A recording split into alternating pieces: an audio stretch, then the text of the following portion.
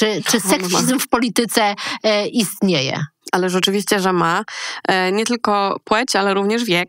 E, I tutaj na przykład Lewica, która wprowadziła dużo młodych kobiet, e, spotyka się bardzo często właśnie z takimi argumentami, że my nie powinnyśmy się wypowiadać, ponieważ jesteśmy za młode, jesteśmy jakby tutaj niedoświadczone.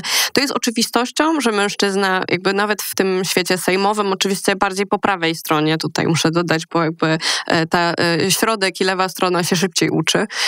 Ale wciąż się uczy. Ale wciąż się dużo nauki tak. przed politykami. tak, nie będę udawać, że jest inaczej.